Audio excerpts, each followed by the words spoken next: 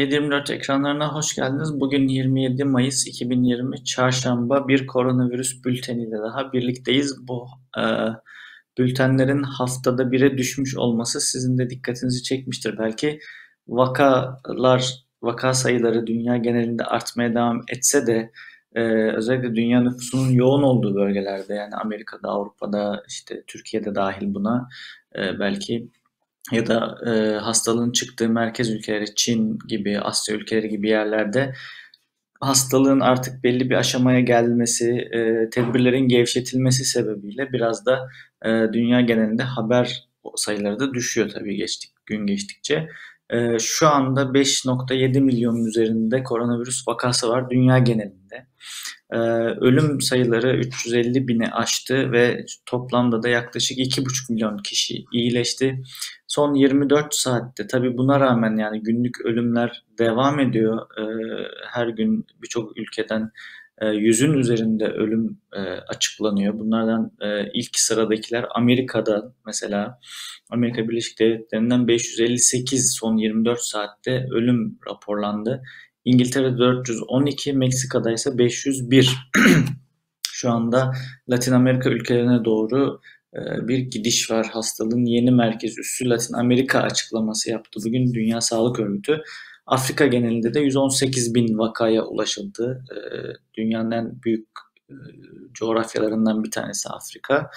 Ama nüfus olarak daha diğer ülkelere, diğer kıtalara göre daha düşük durumda. Ama şu anda 118 bin vaka var. Dünya genelindeki duruma isterseniz hızlıca bakalım. Bu grafiğin sol tarafında vaka sayılarını görüyorsunuz. Yani vaka sayısı 50 bin ile 350 bin arasındaki ülkeleri görüyorsunuz.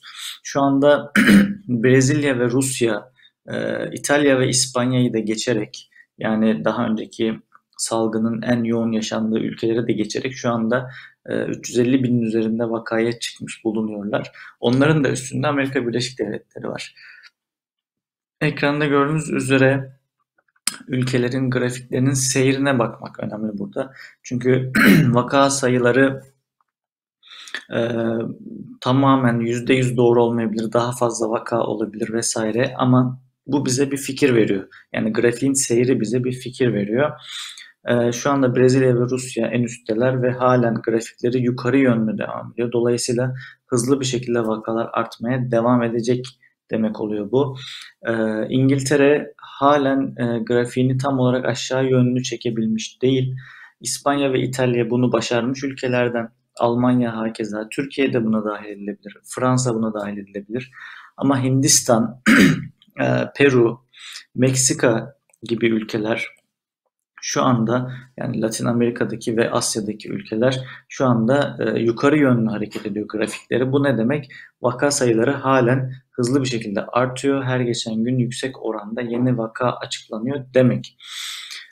İlk üçteki ülkelere bakalım. Yani ilk üç sıradaki ülkelerin rakamlarını bir hızlıca görelim. İşte Amerika Birleşik Devletleri 1 milyon 733 bin e, son e, rakamlara göre vaka var. E, günlük olarak 8 bin civarında bir artış var. Vaka sayılarında 101 bini geçti ölümler ve günlük 442 ölüm açıklanıyor. Amerika Birleşik Devletleri'ni takip eden ülke Brezilya. Brezilya e, olayın başından beri e, devlet başkanı tedbir almamayı savunuyor. Dolayısıyla şu anda tamamen kontrolsüz bir şekilde hastalığın yayıldığını söyleyebiliriz Brezilya'da ve şu an 397 bin vaka var. Rusya'da da yine 370 bin vaka var.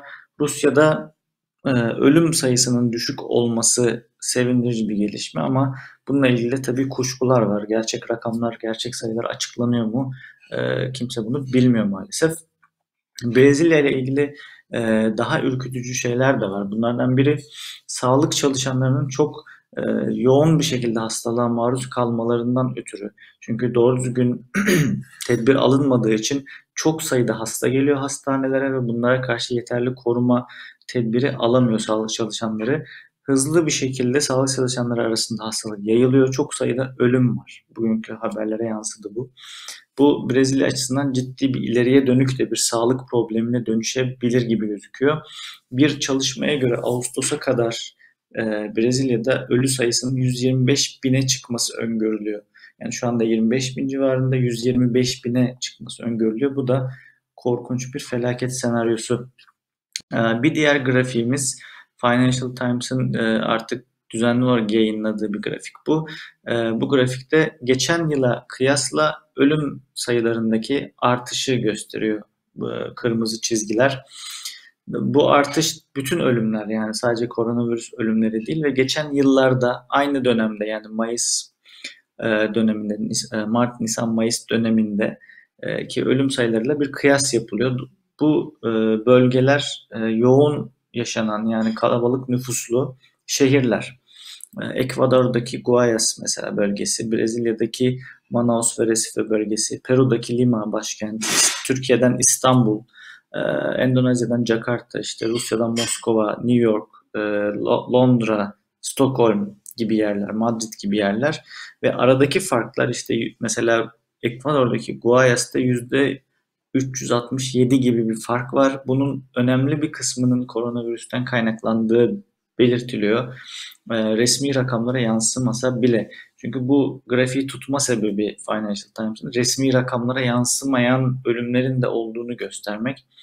Benzer bir artış yani o yükseklikteki bir artış New York'ta gözüküyor ki New York zaten şu anda herhangi bir ülkeden daha fazla vakaya ve ölüme sahip neredeyse. İstanbul'da da %30 oranında bir artış gözüküyor. Bu artış e, şu ana kadar açıklanan resmi rakamların biraz üstünde ama çok çok üstünde değil. Bunu belirtmek gerekir. E, İsveç e, yine koronavirüs tedbirleri almayan ülkelerden bir tanesi. Oranın Stockholm e, şehrinde, başkentinde %88 oranında bir artış gözlenmiş. İtalya'da ise bu %400 496 oranında Bergamo e, bölgesindeki en yoğun yaşandığı bölgelerden bir tanesi de İtalya'da böyle bir artış var diyebiliriz. Türkiye'ye geçelim. Hemen Türkiye'deki son durum ne? Bugün e, yine Sağlık Bakanı Fahrettin Koca'nın Twitter'a post ettiği istatistik. Elimizdeki tek istatistik bu. E, bu tabii biraz aslında komik. Çünkü diğer bütün ülkelerle ilgili neredeyse şehir şehir, bölge bölge e, vaka sayılarını bilebiliyoruz ama Türkiye'de bilemiyoruz maalesef. Tek elimize verilen şey bu. E, bunu okumak için de işte çok büyük bir şeye gerek yok. E, bugün vaka sayıları binin üzerine çıktı tekrardan artışı, günlük artışı. Önceki günlerde 900'e inmişti. 900'lü rakamlara inmişti. Şu an tekrar binin üzerine çıktı. Ki test sayıları da düşmesine rağmen yani geçen haftalarda 40 bin civarında test yapılıyordu. Bu hafta 21 bin e, ve genelde de 20 bin civarında test yapılmaya başlandı. Ama bugün vefat sayısı 34'e düşmüş durumda günlük e, vefat sayısı. İyileşen sayısı da e, yeni vaka sayısının üstünde diyebiliriz. Toplamda 160 bine yaklaştı vaka sayıları. E, vefat eden kişi sayısı 4431 oldu. Tabii bu vakaların büyük çoğunluğu şu anda iyileşmiş durumda. Yani şu anda Türkiye genelinde neredeyse yaklaşık 20 bin civarı koronavirüs vakası var. Yani hastanelerde ya da evinde olarak. E, nitekim yoğun bakımlarda da 723 vaka kaldığını söylüyor bize bugünkü e, grafik. Dünya genelinde bugünkü tartışmalardan bir tanesine hemen geçelim. Koronavirüsün ilacı var mı sorusu. E, bununla alakalı biliyorsunuz önceki haftalarda da yine değinmiştik. Hidroksiklorokin isimli e, sıtmaya karşı kullanılan bir ilaç daha öncelerde tavsiye ediliyordu. Hatta Amerikan Başkanı Donald Trump e, kürsüden yani basın toplantısı esnasında bu ilacı kullandığını deklare etti.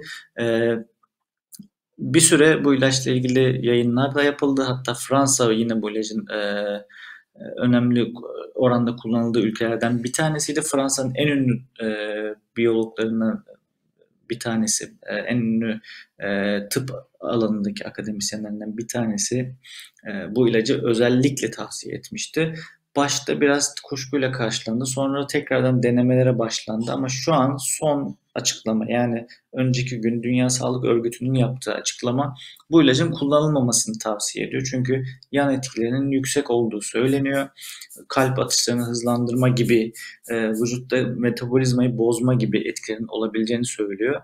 Ama Türkiye bu ilacı yoğun kullanan ülkelerden bir tanesi ve kullanmaya devam edeceğini söyledi. Yetkililer öyle bir açıklama yaptı. E, tabii bu hafta içinde Dünya Sağlık Örgütü'nün açıklamasından da e, ilhamla Fransa, İtalya ve Belçika bu ilacı kullanmayı durdurdu. Fakat Türkiye bu ilacı kullanmaya devam edeceğini söylüyor. Çünkü çok yüksek oranda kullanılıyor ve yüksek oranda da stoklanmış durumda. Hatta Mart ayında yüksek e, oranda alınmış bu ilaçtan, stoklanmış ve hastanelere gönderilmiş belli ki ve, ve koronavirüse karşı kullanılıyor. Belli oranda bir etki ettiği söyleniyor fakat e, dediğim gibi Dünya Sağlık Örgütü yan etkilerinin yüksek olduğunu açıkladı. Trump da tabii daha sonra bu ilacı kullanmayı bıraktığını söylemişti geçen hafta. Ee, koronavirüsle alakalı yani şu anda geldiğimiz noktayla alakalı en önemli soru ikinci dalga gelecek mi? Salgın yoksa sona mı erdi? Sorusu. Güney Kore'den bir haber var. Güney Kore'de bir süre önce okullar açıldı biliyorsunuz. Hayat normale dönmüştü. Sosyal mesafe önlemleri de gevşetildi. Ve bugün 40 yeni koronavirüs vakası görüldü. Ve bu bir anda ikinci dalga geliyor mu sorularının e, sorulmasına, bu soruların artmasına sebep oldu. Birçok ülkenin bilim kurulları ikinci dalgayı sonbaharda bekliyor. Özellikle de griple beraber yükselmesini bekliyor ve bu korkutucu bir senaryo çünkü gribe benzeyen e, semptomları var koronavirüsün. Dolayısıyla grip olup olmadığını bilmediği için insanlar tam olarak ne yapacaklarını bilemeden e, belki hastanelere koşacaklar grip olduklarını düşünerek. Bundan dolayı da kontrolsüz bir yayılma yine karşımıza çıkabilir. Eğer gevşeme olursa diyor uzmanlar bu arada bu yaz sonu da bu ikinci dalgayı yaşayabiliriz diyor. Salgın sona erdi rahatlığına kapılmamak en önemlisi. Hayat normali dönerken belli önlemleri ayakta tutmak gerekiyor. Sosyal mesafe gibi ya da işte e, kapalı mekanlarda çok kalabalık olmama gibi tedbirleri ayakta tutmak gerekiyor. Peki aşı bulunsa size aşı yapılmasını kabul eder miydiniz? Amerika'da Associated Press'in e, işbirliğiyle yapılan bir ankete katılanların %20'si aşı olmayacağını söylemiş. Aşıya güvenmediğini söylemiş.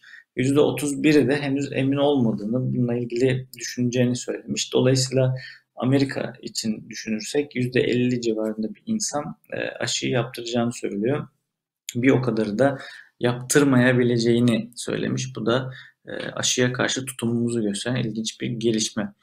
Dünyadan haberlere geçelim hızlıca. İspanya'da e, bugünden itibaren 10 günlük bir yaz süreci ilan edildi. Yani hastalık belli bir seviyeye geldi. Şu anda İspanya'da e, artık onlu rakamlara düştü günlük ölüm sayısı. Bu çok iyi bir haber. Hastaneler neredeyse boşalmış durumda. Ama e, bu hastalığın daha doğrusu bu ölümleri e, ülkece idrak edebilmek için çünkü çok hızlı bir süreçti. Birçok kişi e, ölümlerin belki farkında bile değildi. Bunu e, belki de hakkıyla idrak edebilmek için 10 günlük yaz süreci ilan etti. Toplam ülkede bugüne kadar 27 bin kişi hayatını kaybetmişti. E, bu yaz sürecinde bütün bayraklar yarıya inecek ve çeşitli belki e, törenler düzenlenecek. Tabii e, toplu törenler değil ama farklı kendi içindeki törenler diyebiliriz. Bu arada İspanya'da bugüne kadarki vaka ve ölüm sayıları güncellendi. Ölüm sayısı yaklaşık 2000 kadar düşürüldü. Vaka sayısında da 372 azalma oldu. Bunun sebebi e, tekerrür eden yani tekrar eden e, ölümlerin yazılmış olması. Bütün datalar üzerinde yeniden çalışıldığı ve buna göre yeni rakamların e, ortaya konduğu söylendi. Avrupa Birliği'ne ve biraz da ekonomiye gelelim. Avrupa Birliği e, yeni bir e, verginin üzerinde çalışıyor şu anda cirosu yaklaşık 750 milyon euronun üzerinde olan şirketlere %0.1 oranında koronavirüs vergisi getirmeyi planlıyor. Bu da toplamda 10 milyar dolarlık bir kaynak oluşturmayı hedefliyor. Ee, tabii şirketler buna ne diyecek göreceğiz. Bu arada Japonya bugün 1.1 trilyon dolarlık yeni bir ekonomik paket hazırladığını söyledi. Daha önce de buna yakın bir rakam e, ilan edilmişti. Bununla beraber yani bu iki paket toplamda Japonya'da ülkede kişi başına 17.400 dolarlık bir e, ek harcama anlamına geliyor. Bu da vergilerin e, vergi öden, ödeyenlere geri dönüşü adına çok olumlu iyi bir örnek diyebiliriz. Fransa'dan da bugün bir ekonomi haberi vardı. Biraz korkutucu bir haberdi. İkinci çeyrekte ülke ekonomisinin %20 civarında küçülebileceği öngörülüyor. Bu e, şu demek 2008 krizinin daha da yukarısında bir etkisi olduğunu görüyoruz demek. İngiltere'ye geçelim. İngiltere'de e, çok yoğun bir tartışma var şu anda. Bu tartışma Başbakan Boris Johnson'ın özel danışmanı yani e, baş danışmanı diyebiliriz. Dominic Cummings ile alakalı. Cummings Mart ayında e, koronavirüsle ilgili alınan tedbirlere aykırı olarak e, arabasıyla evinden çok uzak bir yere seyahat ettiği ortaya çıktı ve bunu bunu inkar edemedi çünkü bununla ilgili belgeler ortaya döküldü. Fakat bununla ilgili olarak evet bunu yaptım ve pişman değilim dedi. Ee, ve şu anda herkes İngiltere'de kendisinin istifa etmesi gerektiğini söylüyor. Çünkü halka ilan edilen tedbirleri açıkça çiğnemiş oldu ve e, konumundan ötürü bunun, bunun yanında kalmaması gerektiği söyleniyor.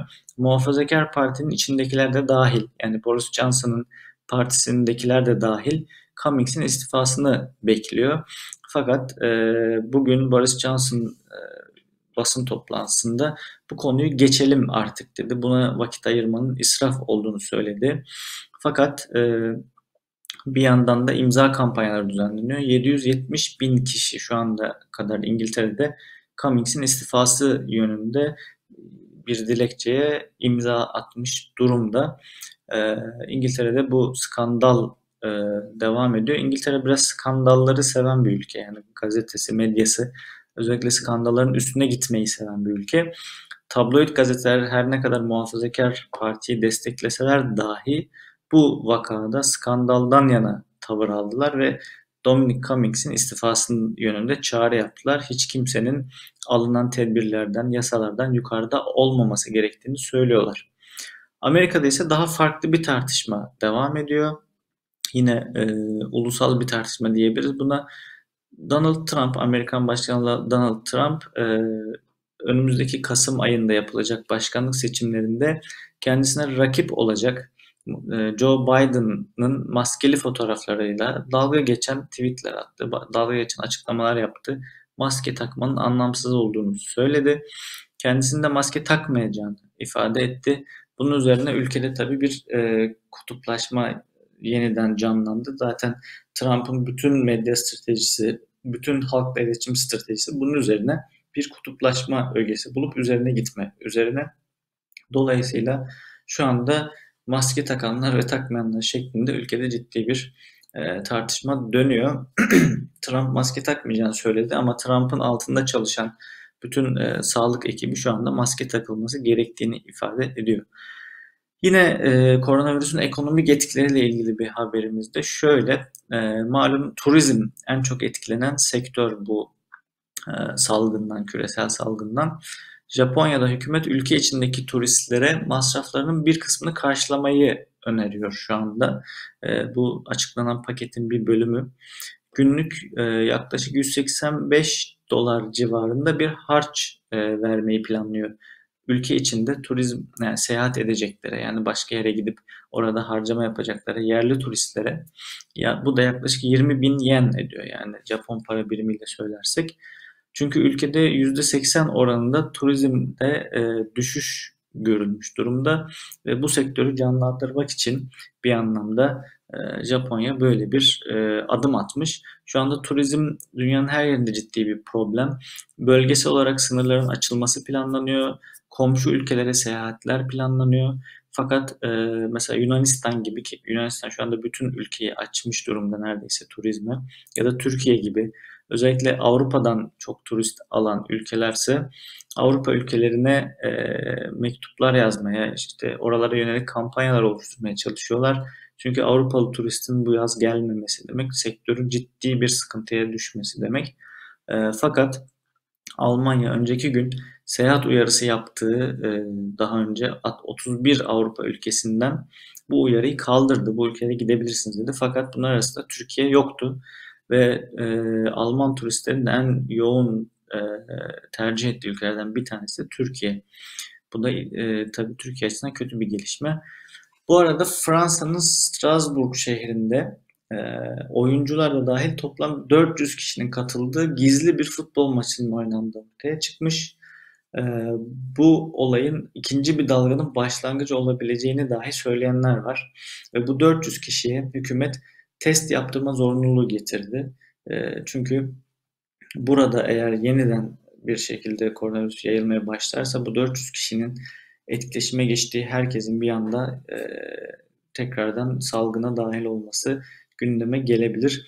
Bu da insanların futbol tutkusu mu demek lazım yoksa gizli olan ya da yasak olan bir şeye karşı tutkusu mu demek lazım? E, bunu işin uzmanlarına bırakıyorum. Bu arada Almanya'da Bundesliga devam ediyor. İkinci hafta maçları da oynandı. Şu ana kadar bir sıkıntı yok. Umarız da olmaz. Uruguay'dan bir haberimiz var. Önceki hafta hatırlarsanız Sydney'de yani Avustralya, Avustralya'da e, Sydney şehrinde arabalı bir konser e, haberimiz vardı. Uruguay'da da ülkenin en büyük havalimanlarından bir tanesi Mart ayından beri kapalı ve burada bir e, arabalı sinema kurulmuş. Yani sinema gösterimleri düzenlenmeye başlamış. Arabalarıyla insanlar buraya gelip e, film izleyebiliyorlar. Bu tabii çok eski hani bizden önceki nesiller belki hatırlar.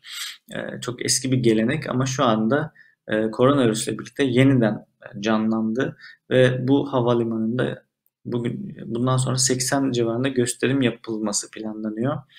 20 bin civarı seyirci çekmek hedefleniyor. Böylelikle ülkedeki bütün sinemalar kapalı. Bu sinemalara bir kaynak aktarmayı planlıyorlar. Bu da iyi bir yöntem.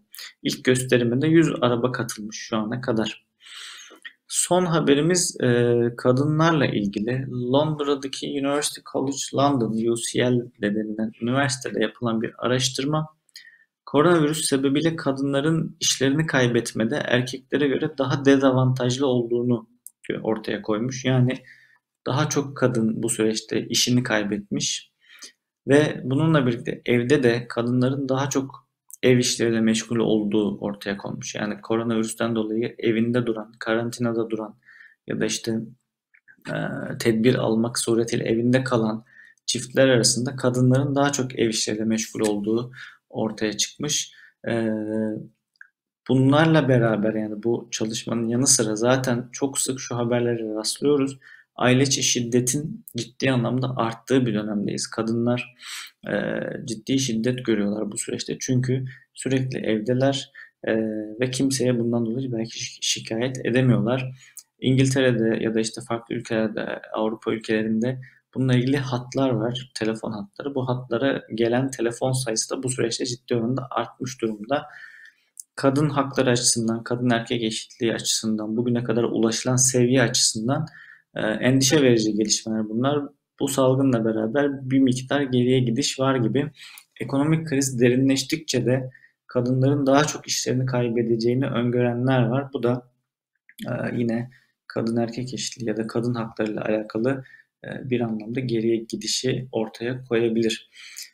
Bugünlük bültenimiz bu kadar. Bizi dinlediğiniz, izlediğiniz için teşekkürler. Haftaya görüşmek üzere. İyi akşamlar.